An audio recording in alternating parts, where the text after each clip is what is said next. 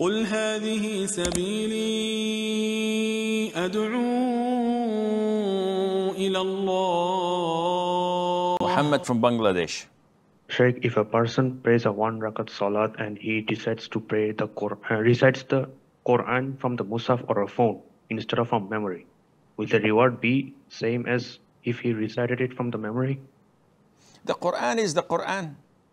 So whether he recites it from the phone or from a, uh, a mushaf or from his memory, it is the Quran that he's reciting. The reward is almost the same. Of course, when he reads it from his memory, he's not moving.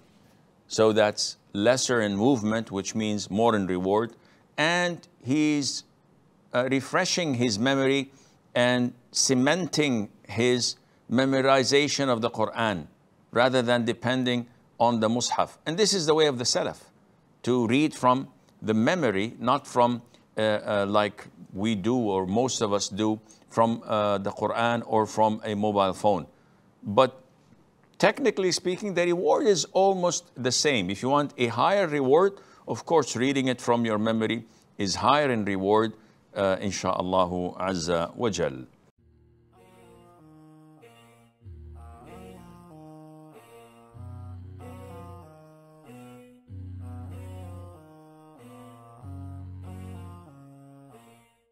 And have you ever taken a, a counseling session with me?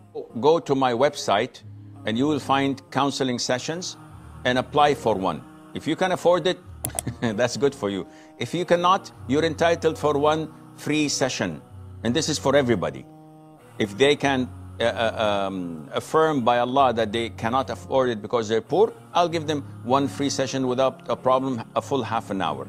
So come to me and let's speak about it, inshallah, within the following two days or three days. And bi'idhnillah azza wa jal, I will uh, uh, uh, try and seek Allah's guidance to solve your problem once and for all, bi'idhnillah.